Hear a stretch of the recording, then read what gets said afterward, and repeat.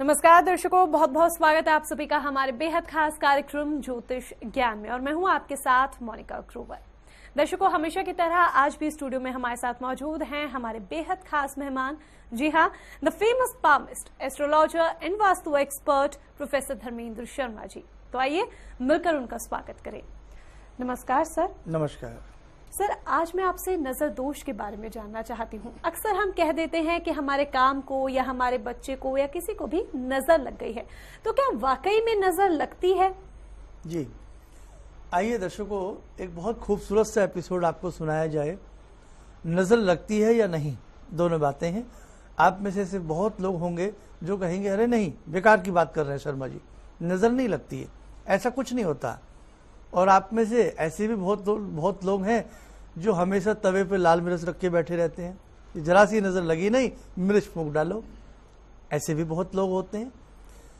Controversy तो पैदा होती है इस सब्जेक्ट में। क्या नज़र लगती है या वास्तव में नज़र नहीं लगती है? क्या वास्तव में नज़र होती है? नज़र होती है या नहीं होती है, इस इस पक्ष को छोड़ देते हैं।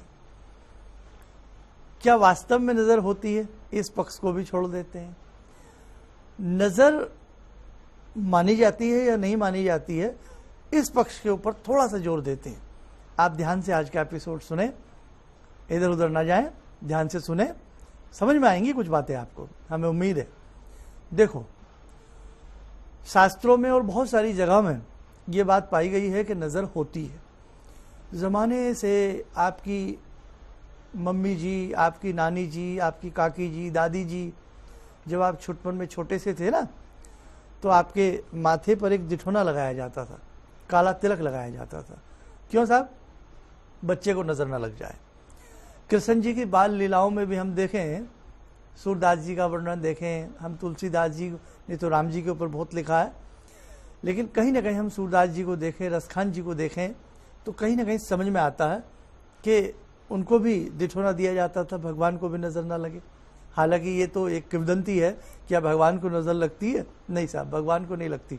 लेकिन जब वो मानवीय रूप में आते हैं, माँ तो देखो, माँ के लिए तो बच्चे ही हैं, चाहे वो भगवान है या कोई भी है। तो कहने का भाव, माँ का लाल कैसा भी क्यों ना हो, कितना भी काला क्यों ना हो, कितना भी क्रूप क्यों ना हो, कितना भी बदसूरत क्यों ना हो, लेकिन माँ जब उसे अपने आंचल में लेटाती है, लोरी देकर के सुनाती है तो मेरा सुंदर, मेरा लाल, मेरा सलोना। दूसरे को पसंद आए ना आए। लेकिन माँ की आँख से पूछिएगा कि उसके बच्चे का खूबसूरती का बयान, उसकी माँ से पूछिएगा, किसी से भी पूछिएगा। सूरदास जी ने कितना सुंदर वर्णन किया भगवान श्री कृष्ण के बाल्यकाल का। आँखें नहीं थी, देख नहीं पाते थे, लेकिन नहीं जाने कौन से चित्रों से देखा। भगवान श्री कृष्ण के स्वरूप को कितना सुंदर चित्रण किया है उनके बाल्य रूप का। दर्शकों, हम बात नज़र की कर रहे थे। बहुत बड़े बड़े आप लोग बंगले बना लेते, कोठी बना लेते हैं लेकिन सबसे पहले वो भूत से आप ही लटका देते हैं। घर के बाहर जीप लटका हुआ, और गाड़ी जब किसी भी शोरूम से बाहर निकलती हैं, चाहे आपके ट्रक हों, कुछ भी हो, उसके पीछे भी काला जूता, काली रिबन लटका दी जाती है। और शायद ही कोई ट्रक हो जिसके पीछे लिखना लिखा ना मिले बुरी नज़र वाले, तेरा मुँह काला। तो इतनी सारी चीज़ें कहाँ से आ गई हमारे समाज में? ऐसे कैसे हो गया? तो इसका मतलब क्या है? इसका मतलब है कहीं तो कुछ है। अब ए, एक उदाहरण और देता हूँ। कई बार आप आईने के सामने अपने आप को तराश रहे होते हैं और आपको लगता है आज आप बहुत अच्छे लग रहे हैं आज आप बहुत गॉर्जियस लग रहे हैं आज आपकी ड्रेस सेंस बहुत अच्छी है आज आपका सब कुछ बहुत अच्छा है। लेकिन बस इतना कहा नहीं सब कुछ बुरा सा होने लगता है आपको फीवर से आने लगता है कुछ कुछ हो जाता है कई बार आपको कोई टोक देता है अरे क्या बात है आपका तो बहुत अच्छा काम चल रहा है। अरे, क्या बात है? आपका तो बच्चा बहुत अच्छे से पढ़ रहा है। और उसी दिन से पता नहीं क्या होता है, टायर पंचर हो जाता है, गड़बड़ सी हो जाती है। तो कहने का मतलब बहुत सारी ऐसी चीज़ें हैं कि हमें ये सोचने पर आमादा कर देती हैं कि वास्तव में कहीं ना कहीं नज़र तो लगती है। अब किन लोगों को सबसे ज़्यादा नज़र लगती है? आइए, आज आपको पहली बार टेलीविज़न के इतिहास में हम बताते हैं कि किन लोगों को सबसे ज़्यादा नज़र लगती है। नंबर एक आपकी हथेली हथेली में उभरे हुए चंद्रमा। जिस प्राणी की हथेली में बहुत ज़्यादा उभरी हुई स्थिति में चंद्रमा होते हैं और चंद्रमा के साथ साथ जिस प्राणी के सूर्य विपरीत होंगे, या तो दाएँ भागेंगे या बाएँ भागेंगे, ऐसी अवस्था यदि किसी प्राणी के साथ है तो उसको नज़र बहुत लगेगी।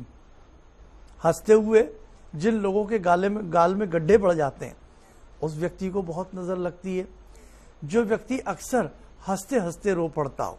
कई बार आपकी हँसी भी ऐसी होती है, वो रोने में तब्दील हो जाती है। आप किसी खुशखबरी को सुनते हैं, आपकी आँखों से आँसू झरझर बहने लगते हैं। तो जो व्यक्ति बहुत भावुक हों, जो व्यक्ति बहुत इमोशनल हों, जिनकी आँखें चाहे बाद में रोएँ, लेकिन कलेजा जिनका रो पड़ता, हृदय जिनका रो पड़ता तो ऐसे व्यक्तियों को भी बहुत जल्द नज़र लगती है। दूसरी बात, खूबसूरती को तो नज़र लगती लगती है चाहे आप महिलाएँ हैं, चाहे आप पुरुष हैं, चाहे आप बच्चे हैं, कोई भी है, पत्थर चकनाचूर हो जाते हैं जब किसी को नज़र लगती है। पत्थर के दो हिस्से हो जाते हैं, जनाब, जब नज़र लगती है। बहुत सारे उदाहरण मैं आपको दे सकता हूँ। खैर, अब हम इस नज़र को दूर कैसे करें? क्या नज़र को दूर करने का कोई सरल उपाय है? आइए जानते हैं। जब कभी किसी व्यक्ति को बार बार नज़र लगती हो, आपको बार बार नज़र लगती हो आपके वस्त्रों को नज़र लगती हो, आपके रूप को नज़र लगती हो, आपके काम को नज़र लगती हो, आपके धन को नज़र लगती हो।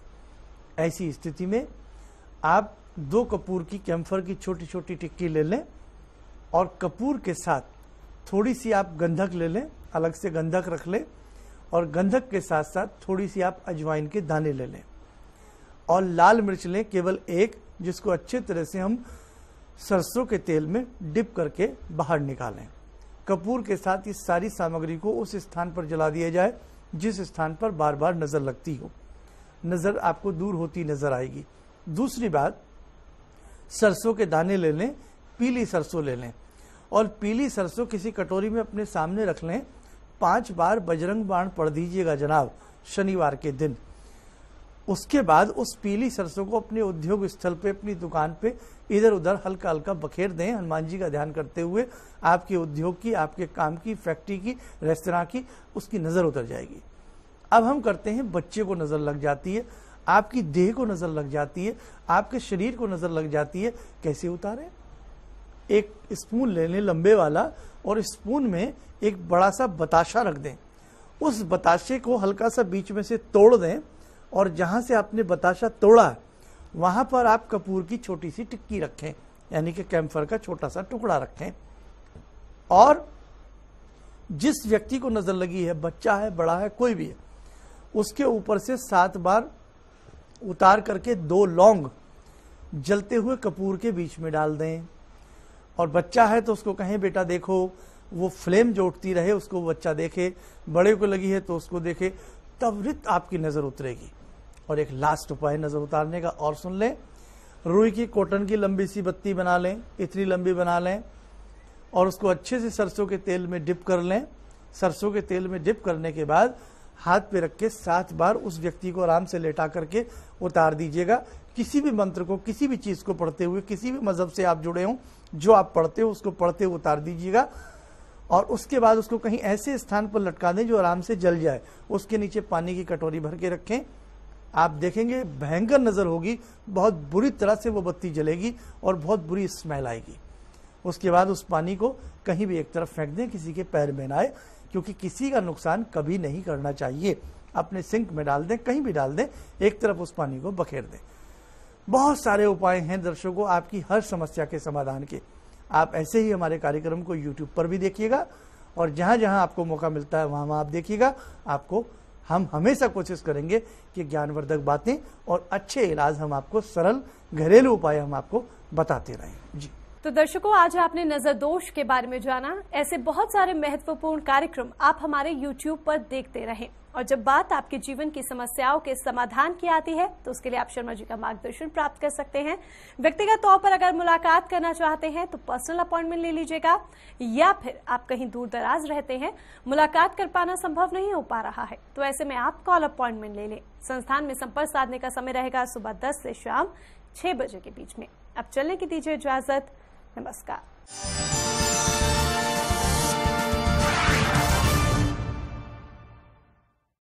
मैंने एक रात स्वप्न में अपने आप को विधवा रूप में देखा तो मैं बहुत डर गई कि मेरा आज क्या होगा। तो आपके द्वारा बताया गया कि जिस दिन अपनी बुरा स्वप्न देखो, उस दिन ओम नमः शिवाय का जाप करते रहो। तो मैं दिन भर अपना ओम नमः शिवाय का जाप, ओम तमक मेजा महे ये वाला जाप करती रहे, महामृत्युंजय। उस दिन मेरे हस्बैंड का इतना भयंकर एक्सीडेंट हुआ, लेकिन उनको खरोच भी नहीं आई। हमारा पता है शुभ Labh Jyotish research Kendra C three ground floor Ashoka Niketan near Yojana Vihar, Delhi 92 website www.prof.dharmendrasharma.in Facebook PROF Dharmendra Sharma Twitter at the rate P R O F Dharmendra WhatsApp number zero nine eight triple one four five nine three four